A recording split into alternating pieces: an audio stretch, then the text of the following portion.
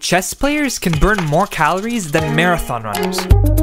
Let me explain. A new study has found that chess masters can burn up to 6,000 calories a day while playing in a tournament. That's more than the average person burns in a single week. The intense mental focus and physical exertion required to play chess leads to a high calorie burn rate.